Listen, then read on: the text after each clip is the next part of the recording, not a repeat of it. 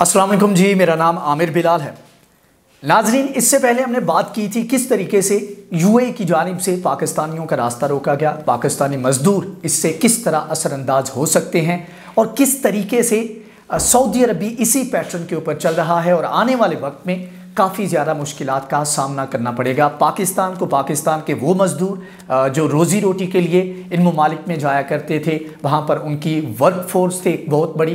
किस तरीके से पाकिस्तान को इससे निकालने की कोशिश की जा रही है? और फैक्चुअली अगर बात की जाए तो इसमें तेरह उन ममालिक को निकालने की कोशिश की जा रही है, जहाँ से थोड़ा सा भी थ्रेट है, थोड़ा सा भी थोड़े भी डिफरेंसेस उनकी गवर्नमेंट के साथ पैदा हो रहे हैं। और ये तमाम ममालिक मुस्लिम मेजॉरिटी ममालिक हैं, जिनके वीज़ाज़ को बैन किया गया है, जिनके लोगों की एंट्री को बैन किया गया है। इसमें दो तीन चीज़ें बात कर लें कि किस तरीके से पाकिस्तान को इसके बारे में आगाह नहीं किया गया। मीडिया के ऊपर चलने वाली रिपोर्ट से पाकिस्तान को पता लगता है कि इस तरीके से वीज़े जो है उनका इजरा बंद कर दिया गया है। विज़िट वीज़े पाकिस्तानियों को नहीं दिए जा रहे।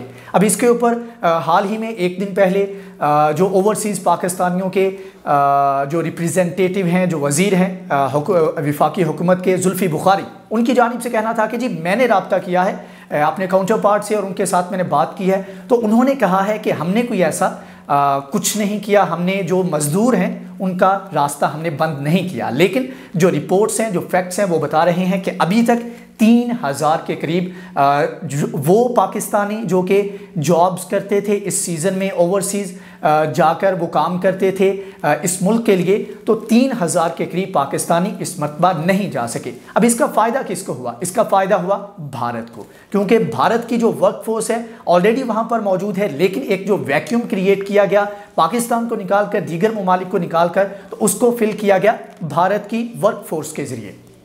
और ऑफ़ कोर्स इसकी बात समझ में भी आती है जो पॉलिसीज़ जिस तरीके से यूएई चल रहा है तो उससे देख के लगता है कि अगर कोई मुल्क किसी भी मामले के ऊपर थोड़ा सा डिफरेंस क्रिएट होता है इन दो ममालिक के बीच में तो ये उसके खिलाफ अपनी पॉलिसी चेंज कर देते हैं और एक्टिवली इसके ऊपर इन्होंने अपने ऑल्टरनेट जो हैं, उनको देखना शुरू कर दिया है। यूएई में जितनी भी वर्क फोर्स थी, मुस्लिम ममालिक की जानब से तुर्की की बात करें, ईरान की बात करें, पाकिस्तान की बात करें, दीगर ममालिक की बात करें तो ये जितनी भी वर्क फोर्स वहाँ पर जाती थी तो उसका आल्टरनेट भारत एक बहुत बड़ी आबादी है।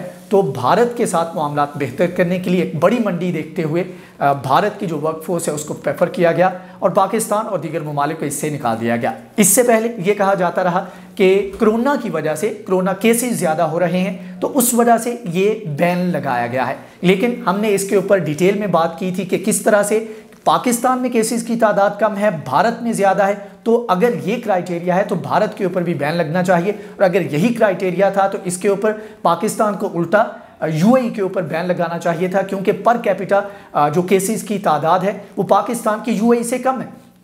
साथ में इसराइल के ऊपर भी पाबंदी लगनी चाहिए, उनकी आबादी के लिहाज से पर कैपिटा के हिसाब से जो केसेस सामने आ रहे थे, वो पाकिस्तान से कहीं ज़्यादा थे। लेकिन ये रीज़न नहीं थी। शायद इसी वजह से बाद में एक बयान आया जिसमें कहा गया कि सिक्योरिटी कंसर्न्स की वजह से ये वीज़ा इशू करना बंद किया गया है इन ममालिक के लिए। अब सिक्योरिटी कंसर्न जो है वो कौन से थे? वो ये थे कि इस्लामोफोबिया का जब मामला चला तो यूए की जानब से और सऊदी अरब की जानब से एक्टिवली सपोर्ट किया गया फ्रांस को और जो फ्रेंच प्रोडक्ट्स के बाइकआउट की मुहिम चली, उसमें अपोज किया और साथ में अपने शहरीों को कहा गया कि आप इसके हक में मुहिम के हक में ना चलें, बल्कि आप इस बाइकआउट के खिलाफ चलें और इसके ऊपर जो है आप इन प्रोडक्ट्स का यूज़ जो है उसको कंटिन्यू रखें।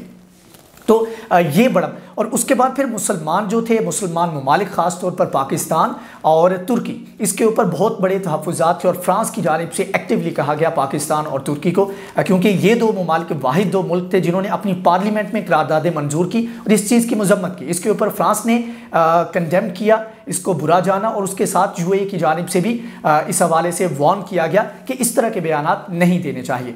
और इस हवाले से पाकिस्तान को भी यूए के मिनिस्टर की जानब से वार्न किया गया कि यमन के ऊपर जो एक मुबम किस्म का एक बयानिया है तुर्की का और पाकिस्तान का तो इसके ऊपर वाज स्टांस अपनाने की अपनाने का कहा गया। नहीं तो कॉन्सिक्वेंसेस इसके भुगतने के लिए कहा गया। और वो कॉन्सिक्वेंसेस क्या है? वो जो अभी हम देख रहे हैं, जिसमें तीन हज़ार के करीब अभी तक लोग जो हैं उनको नौकरियों से महरूम किया जा रहा है। आने वाले वक्त में हम देखेंगे कि ये तादाद बढ़ती जाएगी।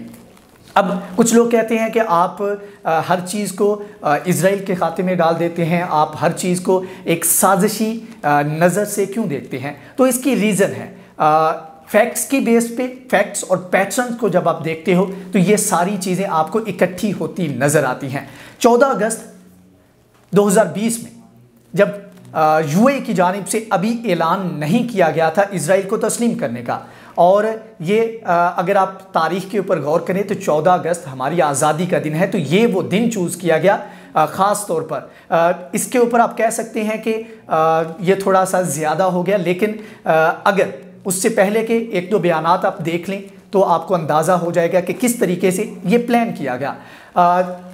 चौदह अगस्त को ऐलान किया जाता है यूए की जानब से और उससे पहले पाकिस्तान को राज़ी करने की कोशिशें की जा रही थी। अब पाकिस्तान के साथ अब प्लान ये था कि इकट्ठे ही दो तीन ममालिक मिलकर यूएई अगर हो जाता है साथ में पाकिस्तान आ जाता है दीगर ममालिक आ जाते हैं। तो एक आ, पाकिस्तान के एटॉमिक पावर होने की वजह से एक अच्छी जो है एक आ, एक मोमेंटम क्रिएट हो जाएगा और दीगर ममालिक को मनाना आसान हो जाएगा। पाकिस्तान अगर आ जाता है तो उसके बाद तुर्की का जो एहतजाज है वो भी किसी काम का नहीं रहेगा और सऊदी अरब के लिए भी एक राह हमवार हो जाएगी। लेकिन जब पाकिस्तान की जानब से इनकार किया गया तो हारीज के नाम से एक सबसे पुराना अखबार है इसराइल का। उनकी जानब से 11 अगस्त को एक मेन पेज के ऊपर हेडिंग लगाएगी और उसके एग्जैक्ट वर्ड ये थे कि Pakistan is threatening the peoples lives by rejecting to accept Israel मतलब कि इसराइल को तस्लीम करने से इनकार। पाकिस्तान के लोगों की ज़िंदगियों को ख़तरे में डाल देगा। ये बाकायदा तौर पर धमकी दी गई पाकिस्तान को। और किस तरीके से तब ये मैं भी सोच रहा था कि किस तरीके से पाकिस्तानियों की ज़िंदगी जो है वो ख़तरे में डाली जाएगी। और उसके ऊपर एक वीडियो में मैंने बात भी की थी कि आने वाले वक्त में पाकिस्तान की आवाम जो है उनको ख़तरा हो सकता है कि भारत के साथ और यूएई के साथ मिल के इसराइल ने जो एक ट्राइका बनाया था, उसमें एनर्जी सेक्टर के ऊपर इन्वेस्टमेंट और पानी के जो मामला हैं, डैम्स के ऊपर बहुत बड़ी गिरफ्त है बहुत मलका हासिल है इसराइल को तो उसमें, इस टेक्नोलॉजी में भारत की मदद करने का एक वादा किया गया। तो उसमें मैंने बात की थी कि किस तरीके से आने वाले वक्त में पाकिस्तान का पानी रोक कर पाकिस्तान को काबू करने की कोशिश की जाएगी, पाकिस्तान को घेरने की कोशिश की जाएगी। लेकिन ये चीज़ें सिर्फ़ वहाँ तक महदूद नहीं ये जो पाकिस्तान के जो लोग हैं, उनकी ज़िंदगियों पाकिस्तान की इकोनॉमी को, पाकिस्तान का जो एक इमेज है, उसको डैमेज करने की कोशिश अभी से शुरू की जा चुकी है। और इसमें इसराइल की जानब से जो प्लान किया गया, उसमें सबसे पहले ये था कि इन ममालिक से, अरब वर्ल्ड से आहिस्ता आहिस्ता पाकिस्तानियों को किस तरीके से निकाला जाना है। तो अगर वर्क फोर्स जो है उसको रिप्लेस कर लिया जाए। भारत ने अल्टरनेट के तौर पर भारत को इस्तेमाल किया गया और वर्क फोर्स जो है भारत फ्राहम कर रहा है। और पाकिस्तान की वर्क फोर्स आने वाले वक्त में आप देखेंगे कि किस तरह ये आहिस्ता आहिस्ता कम हो जाएगी। तो आ, अब कुछ चीज़ें होती हैं जिसमें आप कह सकते हैं कि गलती हो जाती है। जब कोई गलती इंसान करता है कोई हुकूमत करती है या एक गिरोह करता है तो वो उसको ओवरकम करने की कोशिश करते हैं उस गलती की तलाफ़ी करने की कोशिश करते हैं। लेकिन आ, हमें ऐसा नज़र नहीं आ रहा ना सऊदी अरब की जानब से और ना यूएई की जानब से कि उन, उन्होंने जो मिस्टेक्स की जिस तरीके से मिस हैंडल किया फ्रांस वाले इशू को तो उसके ऊपर बजाय इसके कि वो माजरत खाना अपना रवैया रखते तो उनकी जानब से एक काउंटर अटैक किया गया और इन तमाम ममालिक को तेरह ममालिक को सिक्योरिटी रिस्क करार दिया गया कि इनके लोग हमारे लिए सिक्योरिटी रिस्क हैं क्योंकि जिस तरह का मुसलमानों में ख़ास तौर पर फ्रांस में जब ये गुस्ताखी की गई और किस तरीके से वहाँ पर 18 साल अब्दुल्ला ने जाकर उस गुस्ताख का सरतन से जुदा किया।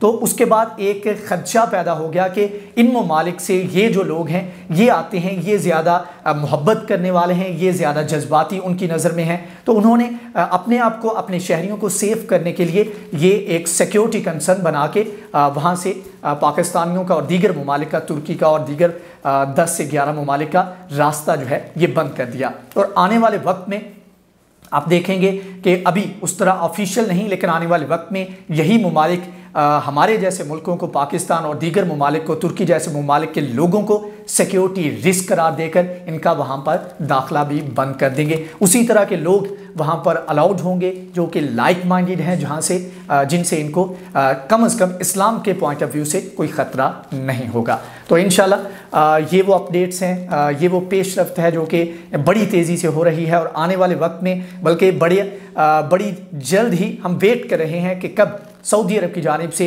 ऐलान किया जाता है और उसके बाद जो मुसलमान हैं, उनका रिएक्शन देखने वाला होगा। यहाँ के लोगों का इस्लाम के साथ जो अटैचमेंट है, उसको देखने वाली होगी और ये भी देखना होगा कि किस तरह से अरब वर्ल्ड के जो लोग हैं, जिन्होंने तकरीबन अरब स्प्रिंग से पहले और तकरीबन पिछले 50 सालों में सिर्फ़ इस बेस के ऊपर मुसलमानों में अपनी थोड़ी बहुत इज़्ज़त और कदर बनाई कि वो फ़लस्तीनियों के हकूक़ के लिए बात करेंगे। लेकिन जब वक्त आया बात करने का तो इनकी जानब से ये उनके साथ खड़े नहीं हुए। अब देखना यह है कि उनकी अवाम भी अपने हुक्मरानों के साथ खड़ी है, या वो उनके अगेंस्ट जाते हैं, जब सऊदी अरब की जानब से इसराइल को तस्लीम करने का बाकायदा तौर पर ऐलान किया जाता है। इन जैसे कोई नई अपडेट आएगी, उसके बारे में हम आपको आगाह करेंगे। तब तक के लिए अल्लाह हाफिज़।